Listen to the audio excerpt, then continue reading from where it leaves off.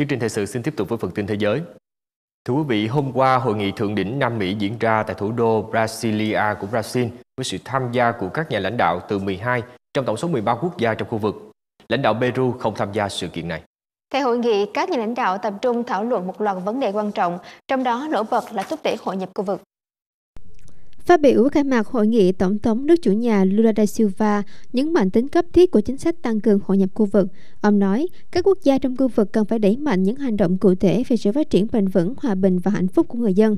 Ông Lula da Silva đều bật quyết tâm khởi động lại các cơ chế hội nhập khu vực, trong đó ông đề cập đến Liên minh các quốc gia Nam Mỹ.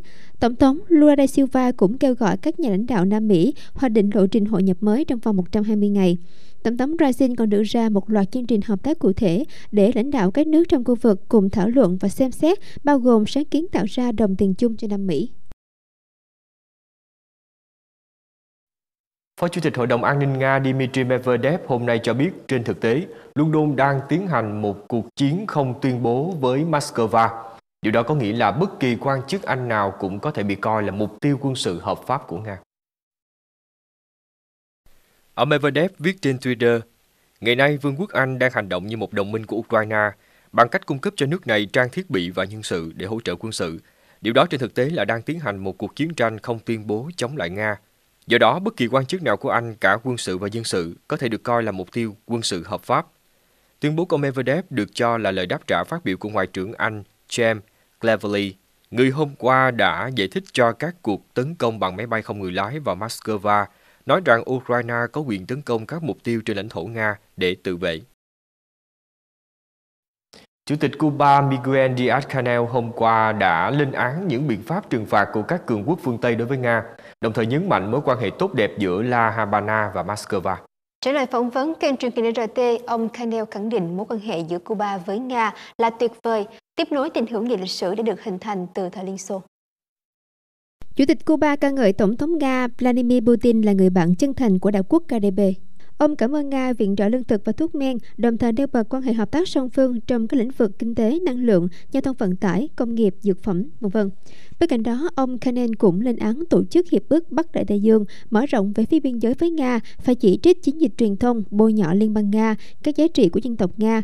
Chủ tịch Cuba đồng thời dự báo nhóm BRICS gồm Brazil, Nga, Ấn Độ, Trung Quốc, Nam Phi sẽ phá vỡ thế bá chủ của Mỹ. Hội đồng Bảo an Liên Hợp Quốc hôm nay lên án vụ phóng vệ tinh quân sự của Triều Tiên vào sáng cùng ngày, nói rằng bất kỳ vụ phóng nào của Triều Tiên sử dụng công nghệ tên lửa đạn đạo đều vi phạm các nghị quyết của hội đồng. Cùng ngày, các đặc phái viên hạt nhân hàng đầu của Hàn Quốc, Mỹ và Nhật Bản cũng lên án mạnh mẽ việc Triều Tiên phóng vật thể mà mình những tuyên bố vệ tinh trinh sát. Theo Bộ Ngoại giao Hàn Quốc, trưởng đoàn đàm phán hạt nhân của Hàn Quốc, Kim Gun, và những người đồng cấp Mỹ và Nhật Bản, Sung Kim và Takehiro Funakoshi đã đưa ra thông điệp chung trong cuộc điện đàm sau khi Bình Nhưỡng tuyên bố rằng họ đã phóng một tên lửa mang vệ tinh trinh sát quân sự. Theo Bộ Ngoại giao Hàn Quốc, ba bên lên án mạnh mẽ hành động phóng tên lửa của Triều Tiên, vi phạm luật pháp quốc tế, đe dọa hòa bình và ổn định của cộng đồng quốc tế. Triều Tiên trước đó cho biết họ đã thực hiện vụ phóng nhưng thất bại do tầng thứ hai của tên lửa gặp trục trặc và họ có kế hoạch thực hiện vụ phóng khác, càng sớm càng tốt. Tổng thư ký Tổ chức Hiệp ước Bắc Đại Tây Dương NATO Jens Stoltenberg hôm qua bày tỏ lạc quan rằng Thụy Điển có thể hoàn tất các thủ tục gia nhập liên minh trước tháng 7 tới.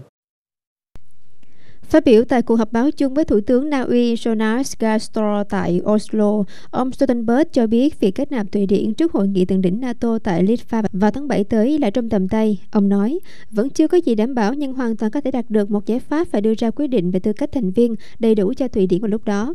Thổ Nhĩ Kỳ và Hungary là hai quốc gia chưa phê chuẩn đơn xin gia nhập NATO của Thụy Điển.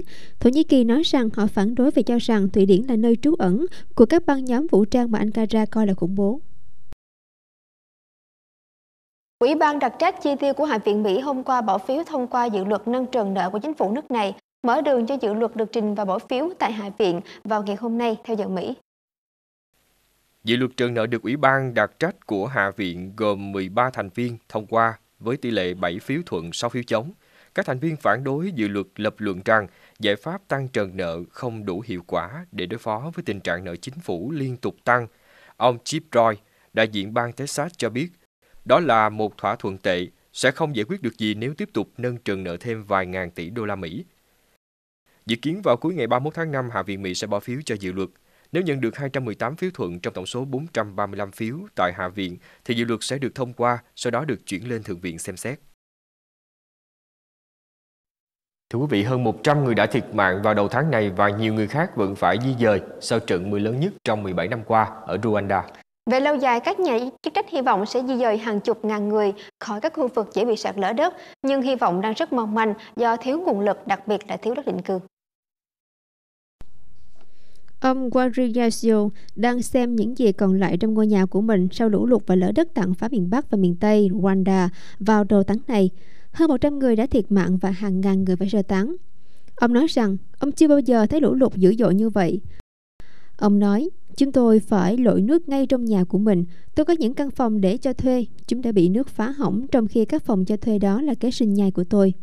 Wada được biết đến với những ngọn đồi dễ bị sạt lở đất trong mùa mưa, nhưng người dân ở đây cho biết sạt lở đầu tháng này là đợt tệ nhất trong những năm gần đây khi sông Siber vỡ bờ sau lượng mưa lớn nhất được ghi nhận trong khu vực trong 17 năm qua. Thiên tai khiến hàng ngàn người phải sống trong những nơi trú ẩn do chính phủ cung cấp. Nhà chức trách muốn di dời hàng chục ngàn gia đình khỏi các khu vực dễ bị sạt lở đất. Nhưng đây là một kế hoạch dài hạn và việc tìm một nơi nào đó để người dân chuyển đến là một thách thức ở quốc gia đông dân cư này. Ông Habigeko Vraskoy, thống đốc tỉnh Western cho biết, có những người không bị ảnh hưởng trong đợt lũ lụt vừa qua, nhưng chúng tôi dự đoán rằng sẽ có vấn đề nếu họ ở lại.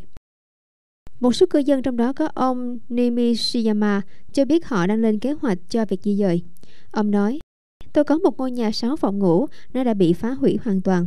Tôi đang sử dụng bùn do nước lũ mang đến để làm gạch xây ngôi nhà mới, mong nhà nước nhanh chóng tìm đất để chúng tôi chuyển đến. Dù mong muốn của ông Telgany là chính đáng, nhưng do tình hình khó khăn nên nhà chức trách cho biết ưu tiên hàng đầu hiện nay của họ là đảm bảo những người mất nhà cửa có được nơi trú ẩn và nhu yếu phẩm.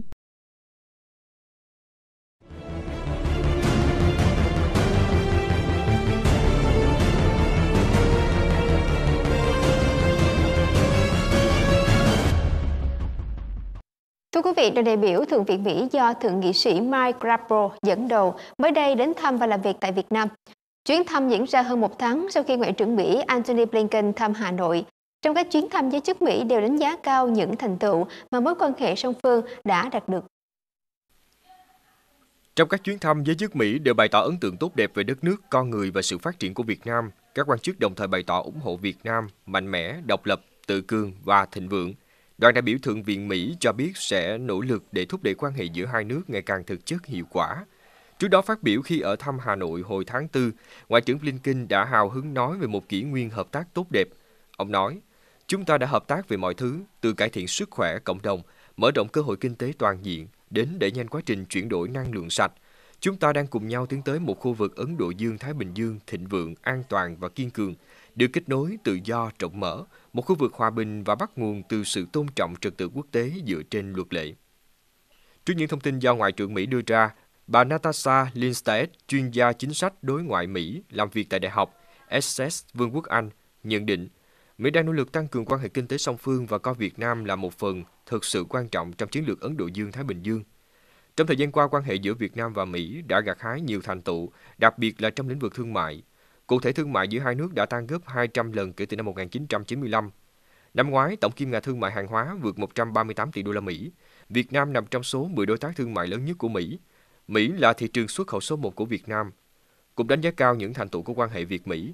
Ông Donald Kurt, phóng viên kiêm tác giả kỳ cựu cho biết trong thời gian tới, Việt Nam chắc chắn có thể hợp tác với Mỹ không chỉ về thương mại với khối lượng thương mại khổng lồ như đã được đề cập, mà còn có thể hỗ trợ trong nhiều lĩnh vực khác Cùng với giới phân tích, cộng đồng doanh nghiệp Mỹ cho rằng quan hệ chặt chẽ hơn giữa Việt Nam và Mỹ sẽ mang lại nhiều cơ hội hơn cho các công ty của cả hai bên, đặc biệt là trong các lĩnh vực như năng lượng, công nghệ thông tin và truyền thông, y tế và quốc phòng.